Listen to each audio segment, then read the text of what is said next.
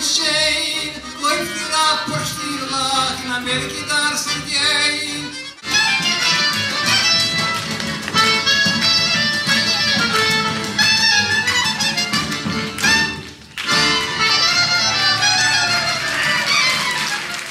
Shalom Aleichem.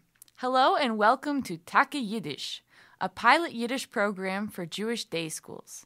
I'm Hannah Pollin your teacher and education director. What we're going to do for about the next 40 minutes is really have a public conversation between ourselves and with all of you about issues uh, that Yiddish faces in the context of Jewish education today.